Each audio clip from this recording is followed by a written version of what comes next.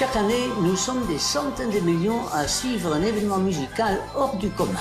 Parce que la musique ne connaît ni frontières ni barrières. La grande famille de l'Eurovision compte bien se réunir cette année encore.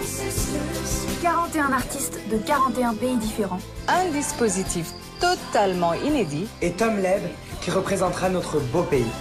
Cette année, plus que jamais, la musique va nous rassembler, nous faire voyager et nous éblouir. Europe Shine a Light, le concert de l'Eurovision, c'est samedi soir à 20h55 en direct sur France 2.